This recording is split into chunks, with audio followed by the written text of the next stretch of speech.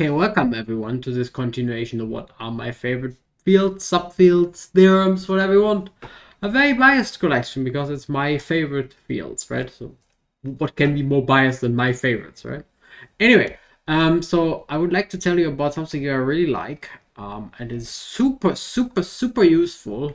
The theory of computer algebra. So computer algebra for me is useful because I use it all the time and it's essentially about making algorithms work on a computer in the fastest way possible. So two steps, make it work on a computer, and second, in the fastest way possible.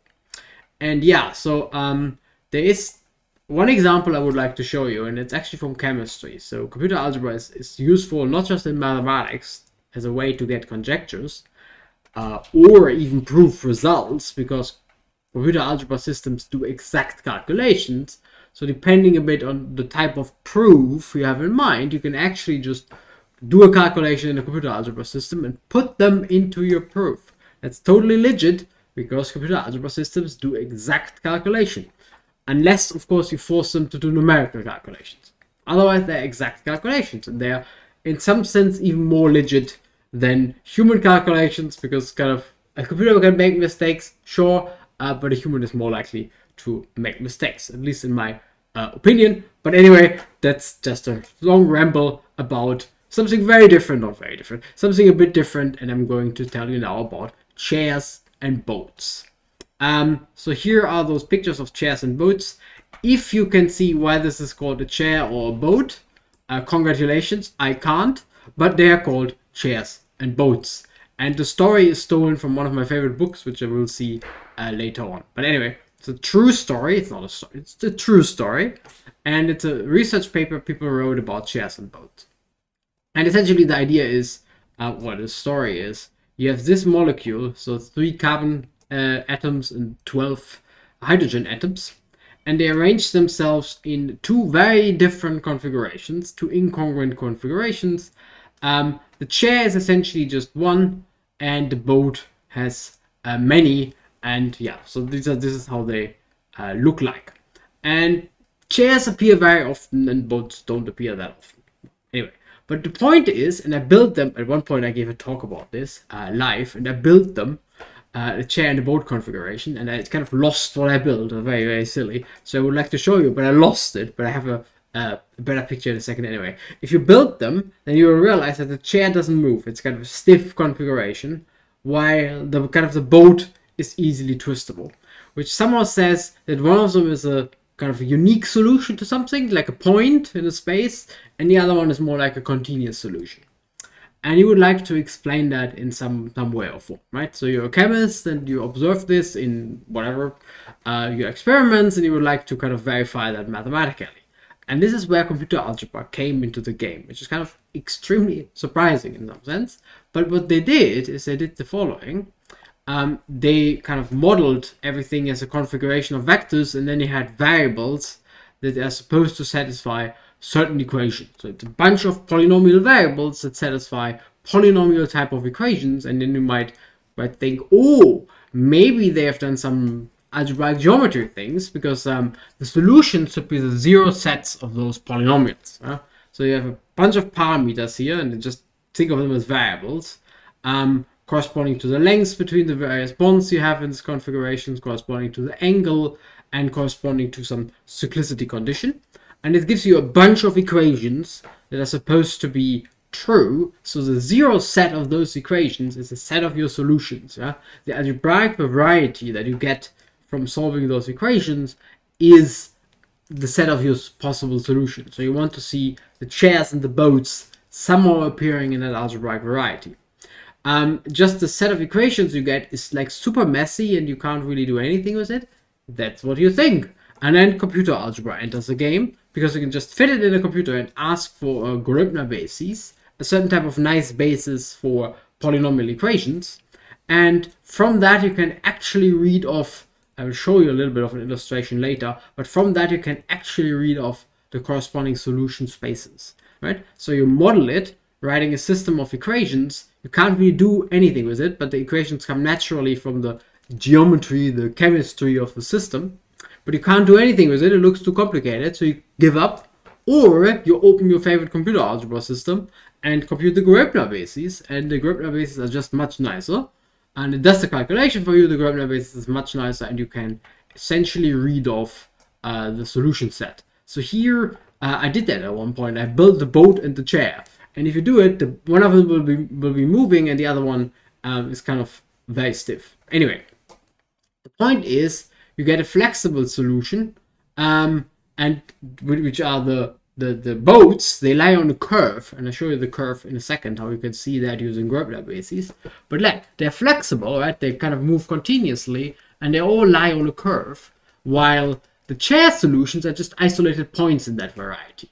So they don't move. You know? They're isolated point in this, this variety. And this is like a, um, a very interesting application of computer algebra, in this case computation, of Gröbner bases, right? You solve this problem, why are there two configurations? Why is one of them stiff and the other one moves around?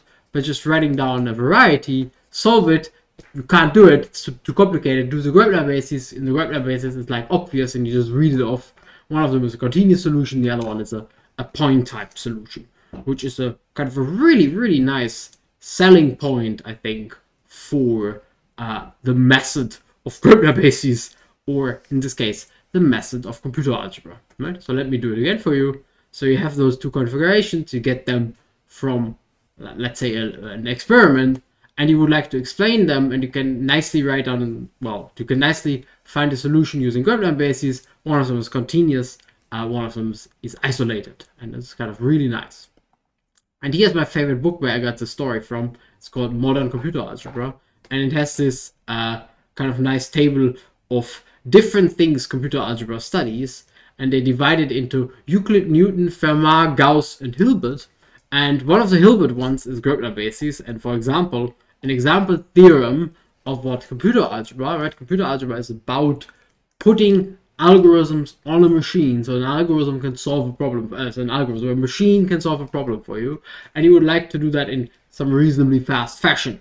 So computer basis, uh, computer basis, computer algebra can do some, usually does something like the Gröbner basis thing is, uh, it's actually pretty shit. So D is a degree, N is the number of variables, and it's pretty shit computational time, but you can do it for um, smaller type of systems like this little example of the boats and the chairs. And computer algebra kind of does the same for many, many, many different things, and you would be really surprised what actually can be computed on a machine. The one things I never learned during my studies, uh, so in, in university, university type of studies, which I now think is really crucial, is like how how do you actually compute things? Uh, I never learned that, and then later on I was super surprised that oh, you can actually compute what a sheaf is. You can fit that on a machine. While in the lecture you only saw like the the abstract definition. Some of that's bad, and you probably will be very surprised what is actually computable on a machine. And I somehow feel like hopefully this video will motivate you and look kind of try to look into what is actually doable uh, on a machine. And this was just one example which I took from the book, and I kind of feel like it's a fun example uh, from from chemistry. So what they really did in this case is, if you do uh, the Gröbner thing, you, you easily see that there's some solution of the form x minus 1, uh, or maybe it was x minus 3, and there's an x minus 1 over 3, which are the, the boat and its mirror, it's really just one point. And then there's a continuous solution, which in the Gröbner basis boils down to the intersection of those two varieties here. And I just turned the picture. You can literally see that the intersection is like this little circle thing. Here is roughly sitting here. And that's exactly the circle you get here, the circle of solutions for um, the two, for the boats. Yeah. So I said again, you solve the equations, you get a bunch of uh, polynomials that need to need to vanish at once you do the Gröbner approach, Gröbner immediately tells you that there are two isolated points. Fine, isolated points gives you the chair. And the other group Gröbner things, you can just easily kind of analyze them. And the intersection of those is a circle, and the circle are exactly um, the solutions for the boat, which is the flexible uh, solution.